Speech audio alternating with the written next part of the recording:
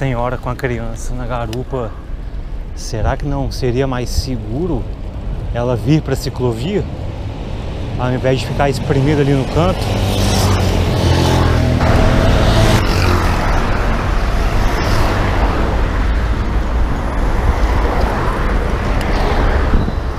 Olha os caras postando corrida na ciclovia. Cara, eu tô exatamente 20 por hora. Esses caras de 25 a 30 facilmente. Que não é o recomendado para ciclovia, né? Lamentável.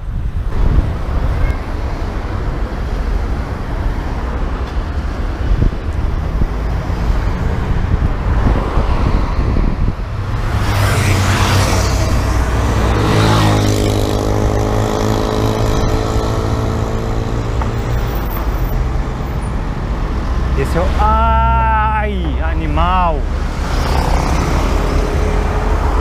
Proibido, cara. Imbecil.